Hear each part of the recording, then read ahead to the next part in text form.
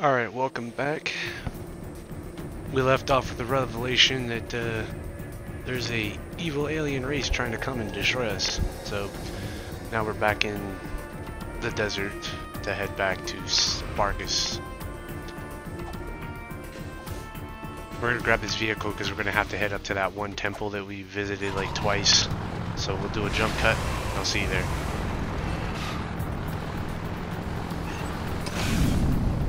Here we are, the temple. This should be the last visit that we'll need here, but I think we actually spend the most time here on this visit.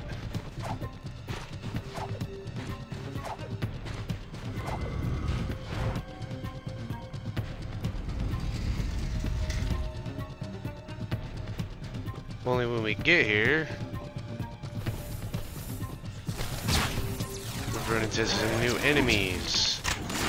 So it looks like the Dark Makers have arrived.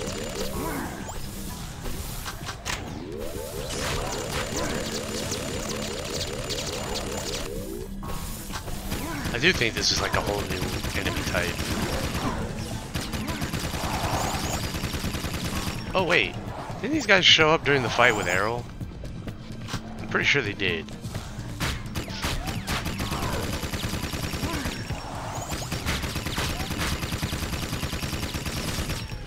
I don't remember because I just I edited it and then straight uploaded it without doing any of the commentary, so I didn't rewatch it. So, but I'm pretty sure these guys show up during the Errol boss fight.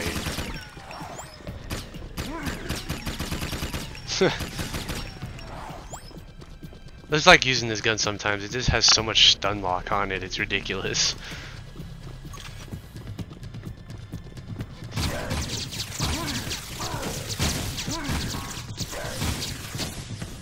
That's fun because that one just bounces everybody around. Hilarious. That Peacemaker ammo. I'm actually pretty stingy about using I don't tend to use the Peacemaker much because you only get like five shots during uh, with it. But I, you can get more if you upgrade it. But you have to use the precursor orbs to get that. And okay then, I just got burned there for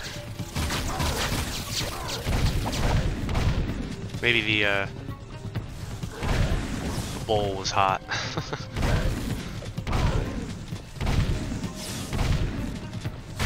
Guys aren't even really that hard. They just like they'll sit there with their stupid shields and then like just throw, yeah, just throw dark orbs at you.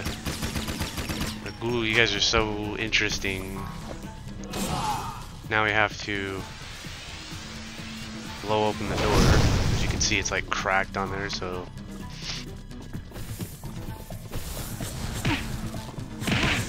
Did I take damage there?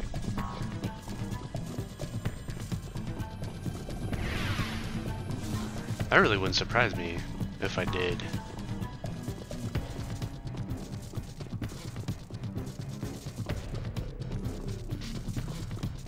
Had the realization, I was like, oh wait, yeah. Remember that door that we could not get through way earlier in the series? Yeah.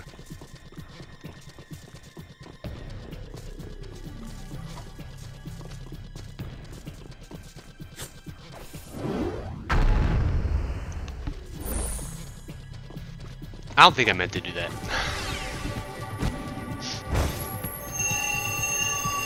Sure, we'll take the free heal.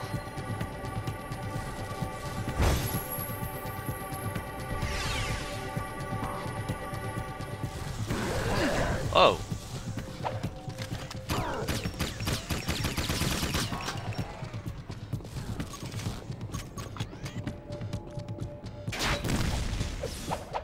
Yeah, shield that, dude. Metalhead orbs. Three of them fell down.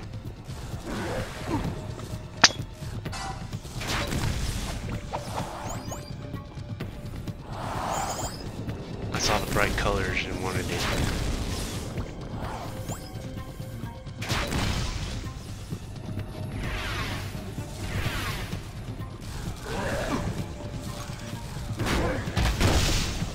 Uh, now I'm gonna be using that peacemaker ammo. Okay, so it's 10.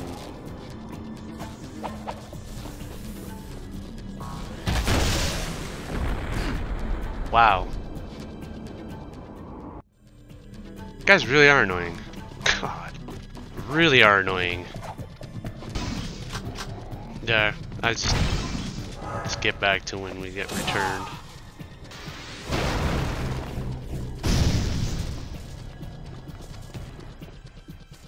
Oh wait, he didn't really miss anything. I think I was trying to deactivate the Jak power. I don't think you can. I feel like you can, but I don't know. I don't remember.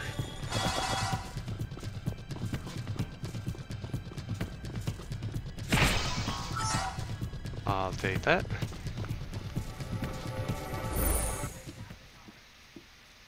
Once again you stand before me, brave one. And once again your heroism shall be rewarded.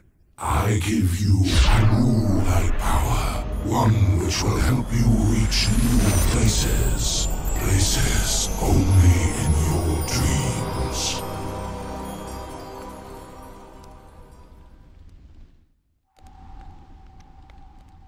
We are now an angel. A gorgeous wings.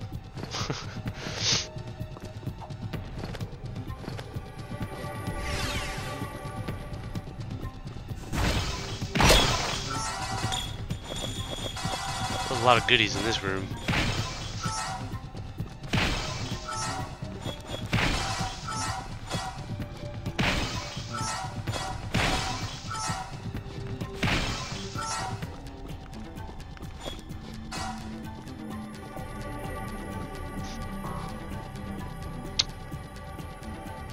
I don't think these wings have an expiration date on it. Great choice of words.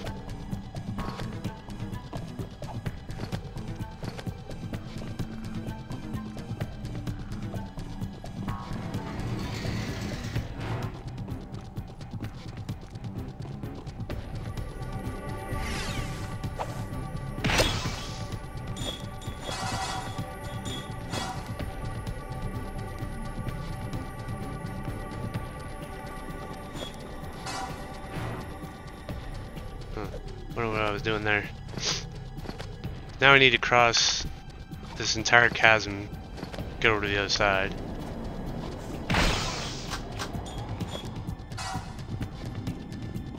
I was about to say, I was like, did I think part of that broke off? Maybe. A lot of goodies here. Really, really a lot of goodies here.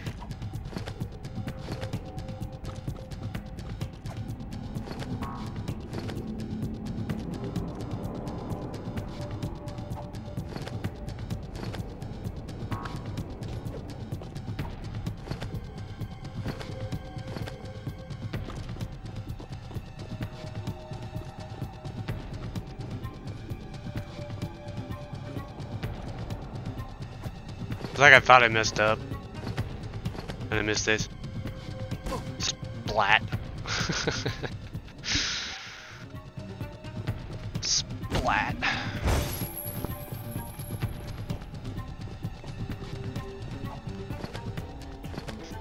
Time flaps for maximum flight. I'm not too sure when the timing is. I think it's like, uh, I don't know. If I had to guess, it's like when the wings are coming down. Again, was when you would time it for maximum flight. No, that time I spammed it. It felt like I was losing alt altitude relatively quickly.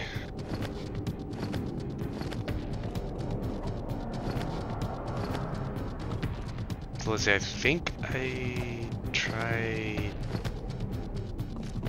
over here and then to flap my way across here. Yeah, there we go.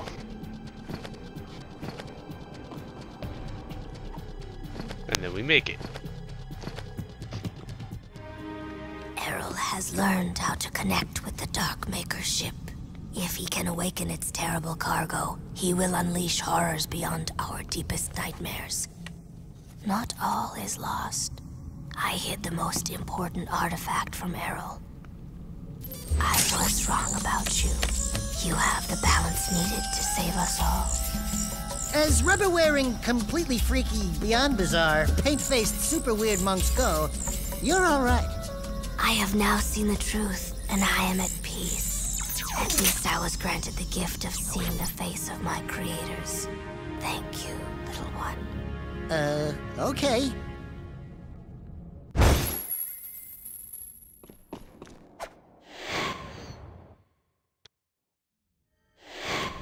Alright.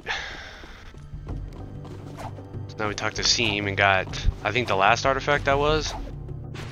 I guess the most important, as she Jak, said. we need so, you back at Spargus City. The scope's picking up major movement out over the water. It's not a storm. It's something else. My guess is it's connected to those dark satellites we've seen. You're the best gunner we've got, Jak. This is your chance to repay your life debt. Get back here as soon as you can. Yeah, so jump jump forward to when we need. So we gotta head back to the gun. Because as you heard Damas saying, some enemies there that we have no idea what they are. Uh, but you can take a guess as to what they are. And this was the whole point of the, us shooting the gun in the first place. Open up with a gun. Fire! Fire! Like I'm getting some War of the Worlds vibes.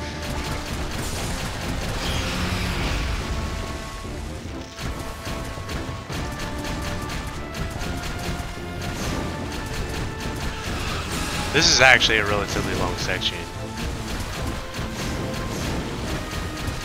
Guys are gonna like drop in and they're gonna sit there and shoot your bombs. Obviously you have a, life gauge up there on the, the top, middle.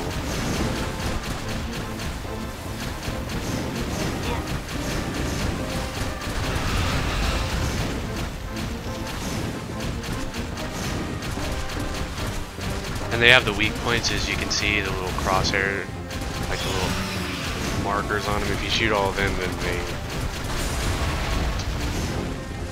they blow up. Because if you don't shoot them, I think you can just continuously shoot them and they will not die. Maybe.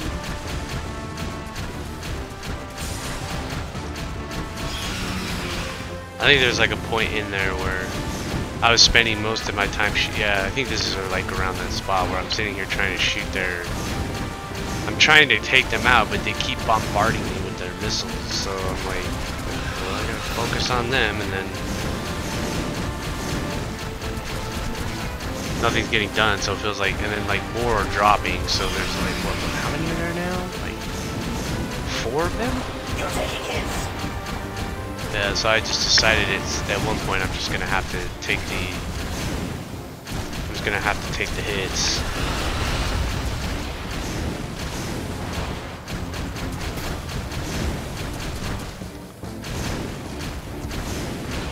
Take the damage.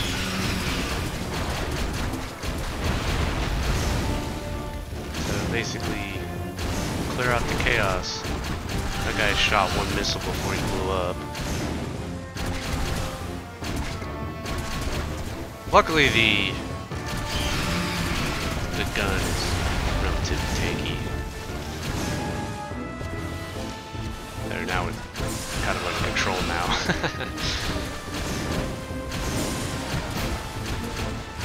now I was trying to like hurry up and take him out before more of them pop up. I'm taking hits now. He does not want to blow up.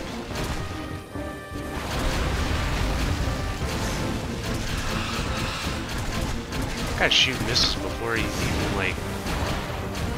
Damn. A lot of hits there.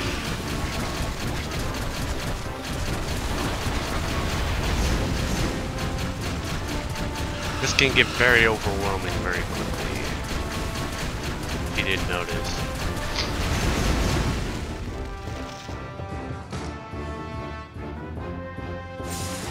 They're gonna start dropping in the city. Which which I don't know why they didn't do that at first. if they could drop wherever they wanted.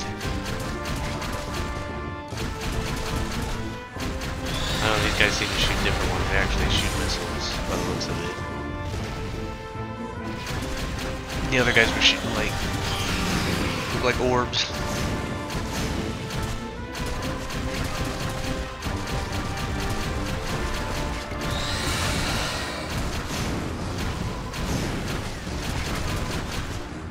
Yeah, it's a shame they never, they never teased these guys in like the first or second game. It's like these guys just almost come out of nowhere. The Dark Makers and stuff.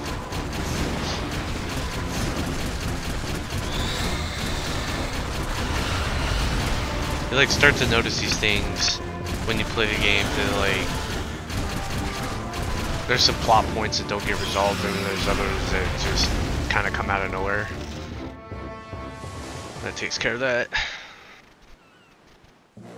You did it, Jak. This victory is a sign of possibility. Times are grim, but when I was the leader of Haven City, times seemed grim then too. Take hope. Even the smallest weed finds shelter within the rocks. Wait, you were once the leader of Haven City? I came to the throne during the middle of the Metalhead Wars. Baron Praxis betrayed me and banished me to the wasteland. The rest, you know. Anyway, here is your third and final battle amulet. You are one of us now. That war amulet is a beacon. If ever you need us, use it to call, and we will be there. And from me, a welcoming gift. This rare precursor armor is said to have been worn by Mar himself. I was saving it for my own son. But right now, you should wear it in this difficult time. Thanks. I don't have anything for you. You give us all hope, Jak. That is gift enough. Welcome to the clan. Alright, yeah, and with that, this is going to be a pretty short one, about 17 minutes long, so I will see you guys in part 9. This was part 8. So, thank you for tuning in. Be sure to like, comment, and subscribe, and I will see you guys in part 9.